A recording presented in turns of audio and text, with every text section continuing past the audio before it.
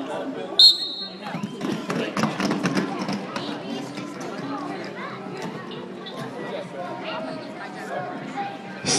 the race, they got 1,000 meters to go. This is Senior Classic Master Esquire Veteran. 900 meters to go.